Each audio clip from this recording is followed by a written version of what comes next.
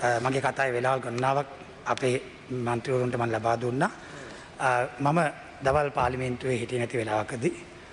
හේෂා විතාරණ මන්ත්‍රතුමා. ඒ වගේම ඉඳුනිල් මන්ත්‍රතුම අපේ දිස්ත්‍රික්කේ මගේ නම ප්‍රකාශ කරලා මැඩිල්ලේ පඥාලෝක හාමුදුරුවන් අපේ හාමුදුරුව විරුද්ධව සී අයිඩට ගිහෙල්ලා. මේ පැමිල්ලක් දාලා උන්වහන්සේට විරුද්ධම කටයුතු කෙරුවා කියලා. මගේ සම්පූර්ණය ප්‍රතික්ෂේප කරනවා කිසි සේත්ම මහා සංග්‍රත්ය විරුද්ධ අදටු කටයුතු කරලා නෑ. මහා සංග්‍රතුට පැමිලි දාලනෑ. සීයිඩට අඩුවන් ටෙලිෆෝන් කෝල්ලයක් පත්දීලා උන්වහන්සට විරුද්ධ ම කටයුතු කරන්න කියලා කියලගෙන. ගෞරවය මහා සංග්‍රත්නත එක ඉතාමත්ම කිට්ටුවෙන් ඉතාමත්ම ගෞරයෙන් වැඩකටු කරන පුද්ගලයෙක් මම. ඒක හොඳරම දන්න කුණැල් දිස්ත්‍රික්කේ මහා සංගරත්නය අමූලික බොරුවක් ඒකෙද ඇත වශය වෙලා තින චමල් රාජපක්ෂ ඇමත්තුමාගේ නම කියවෙනවා ෆේස්බුක්කේ අප හාමුදුරු වහන්සේගෙන් කැස් බැවි ප්‍රශ්නයක් ගැන අපේ චමල් ඇමතුවා ඉතාමත්ම දුකෙන් හිටියේ එතුමා නොකරපු එකක් ගැන එනිසා අපේ චමල් රාජපක්ෂ ඇතිතුමා ඒ ගැන පරීක්ෂණයක් කරන්න දීලා තියෙන කෞද මේ මුසාව අපේ හාමුදුරුවන්ට මගින් ප්‍රකාශයට පත් කරේ කෞද කියන එක ගැන හොයන් එනක මහා සංගරත්යන නෙමෙයි ඒ අපේ පඥ්ඥලෝක හාමුදුරුව අපේ හාමුදුරුව අපිට විශාල වසයෙන් උදව් කරපු ගෝටාපි රාජපක්ෂ ජනාධිපතුවා දිනවන්ඩ කැපවුණු මේ යහපාලන ආණ්ඩුව ගෙදරයවන්ට කටයුතු කරපු ගෞරණය සාමීන් වහන්සේ නම.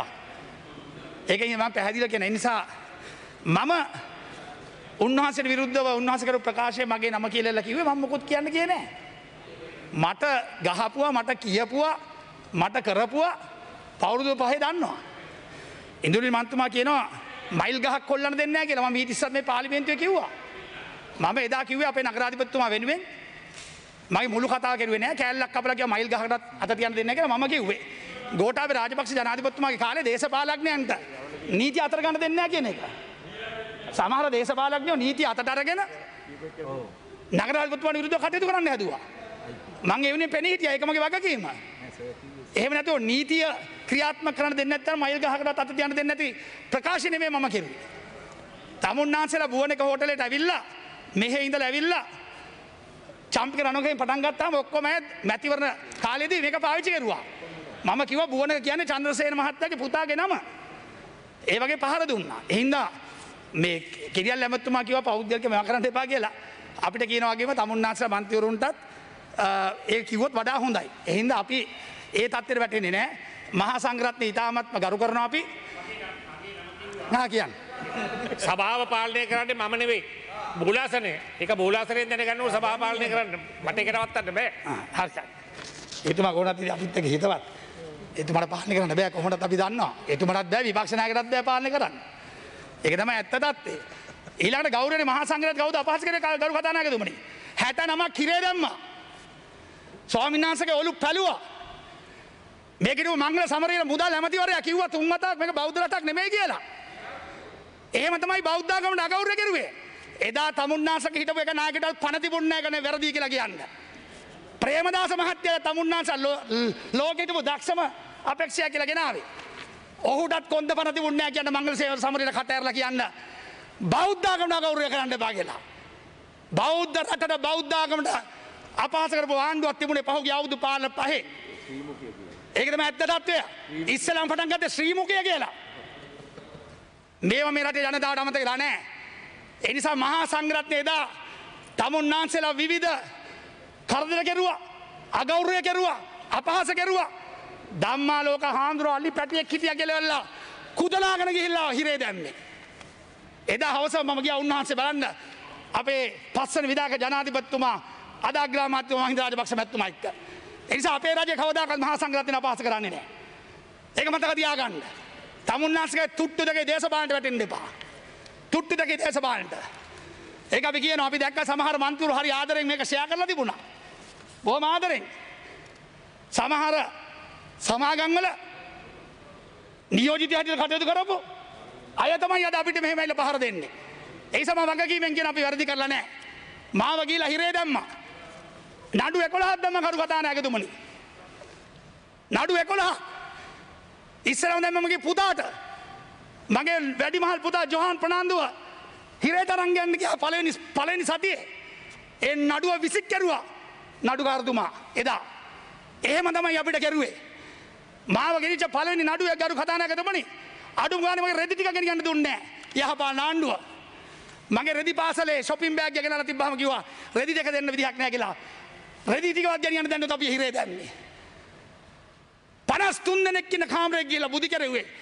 වැසිකිලි වලකට තමයි ඔළුව තියන්න දුන්නේ තමුන්නාසගේ ආණ්ඩුව එහෙම තමයි තමුන්නාසලා යහපාලනේ ක්‍රියාත්මක කරුවේ. එහෙම තමයි විනිශ්චයකාරවරුන් ඒ කාලේ විනිශ්චයකාරුන්ට කතා කරලා CID ඩිරෙක්ටර්ලට කතා කරලා අල්ලස් කොමිසමට කතා කරලා ඒ කරපු අපරාධ කවදාකත් අමතක කරන්න මේ රටේ ජනතාව මතක තියාගන්න.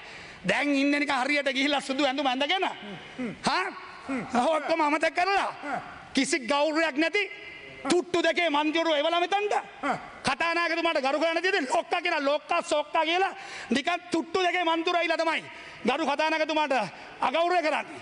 අද ඒක තමයි ප්‍රේමදාස මහත්තයාට ඉතුරු වෙලා තියෙන්නේ. ඕනයි ප්‍රේමදාස මහත්තයාගේ අද ඉන්න මන්තිවරු කණ්ඩායම. විනිශ්චකාරුන්ට කතා කරපු බය කරපු නීති අතට අරගෙන කටයුතු කරපු මොනාද කිව්වේ? ඩොන්ස්ටන්වයි නාමල්ල එතොට දාන්නක කට වැඩි කිව්වා. කොහමරි දාන්න කිව්වාද?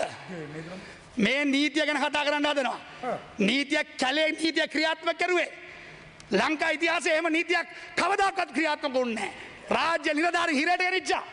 රටත් දිරෝපු මහින්දාජ පක්ෂ මහත්තයක් කොමිසංගලට ඇඳකර ගියා. ආර්යාව හිරේ දාන්න ඇදවා දරුව දෙන්න හිරේ දම්ම. බැසි රාජපක්ෂ මහත්තයව හිරේ දම්ම. රටයන්ට ඉඩ දුන්නේ නෑ පිල්ලයා නෞද පාක් හිර කර හිටිය. වැඩියන්න. එදා මොකක්ද වනේ? අර කුරුණෑල හිටපු දොස්තරට දවස් විස්සෙන් අප දුන්න. දවස් විස්සෙන්. පිල්ලයන් ගරු කතානකතුනේ අවුදු පහක් රිමාන් බාට පත් කෙරවා. මොකක්ද වරද? මහින්ද රාජපක්ෂ ජනාධපත්වන පෙන හිටියල. ඕම තමයි තමුන්නාස පහර දුන්නේ. අපි එම පලිගන්නේ නෑ අපි පලිගන්න අපි පලිගන්න ගියානම් තමුන්නාස කරපු හොරකංවලට ඕකෙන් භාගයක් ඉන්න නද හිරගෙතර එකම ඇත්ත. ගෝටාව රාජපක්ෂ මහත්තයගේ තියෙන මනුස්සකම. එතුමගේ තියෙන ප්‍රජාතන්ත්‍රවාදය. තමුන්නාසලාද අතකොළුවක් හැටි අරම් පාවිච්චි කරන්න හතනවා ෆේස්බුක් කළ දාලා ගහනවා. පහර දෙනවා. දැත ගොඩ වේපස්න සිින්දු හදනවා. පහර දෙනවා. ඊලට කෙන ෆේස්බුක් එක යන අයව අත්තටකුට ගන්න කියලා. එනිසා අපි රජයක් හැටි අපි දන්නවා තමුන්නාසල කරගත්ත වැරදි අපි අපි කරන්න බලාපොරත්තුවෙන් නෑ කියන එක ඉතාමත්ව ගෞරය මතක් කරනවා. ඉතාමත්ත ගෞරෙන් මට දුන්න වද මම ඉතර ඉදන්නේ. මට දුන්න දවස් හැත්ත තුනක් මාව හිරගෙතර දැම්ම. තමුන්නාන්සෙලා. ඒ නිසා අපි කියන තමුන්නාසහි හිතාගෙන ඉන්නවන රාජ්‍ය බල ගණඩ පුලන් කියලා මට ගහලා එදා වගේ එක හීනයක් එක මතක තියාගන්න. එක හීනයක් විතරයි. හිසකරු කතරම හිතටි කතා කරන්න යන්නේ නෑ. මේ මඩවලට මට උත්තර දෙන්න අවශ්‍යලා තිබුණේ අපි කව කිසිම ගෞරණි මහා සංග්‍රත්නයට අපහස කරන්නේ අවනම්මු කරන්නේ සිංහල බෞද්ධ රටක් කැටියට අපි මූලිකත්වය දීලා තියෙනවා ඉතාමත්ත ගෞරණී විදිහට අපිට චන්දය දුන්නේ අපි ජයග්‍රහණ කරුවේ මෙරටේ ජනතාව. ඒ තමුන්නාස හිතනක පුපුරුවන්ඩ පුළුවන් කියලා පාවිච්චි කරලා ඒක තමුන්නාස කරන්න අපිට දෙන්න කියන එක අපි පැදිලකෙන් අදර කතානකම ස්තුතියි.